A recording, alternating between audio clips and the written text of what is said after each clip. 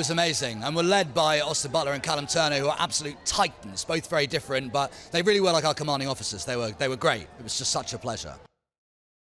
Working with Apple TV Plus has been absolutely amazing.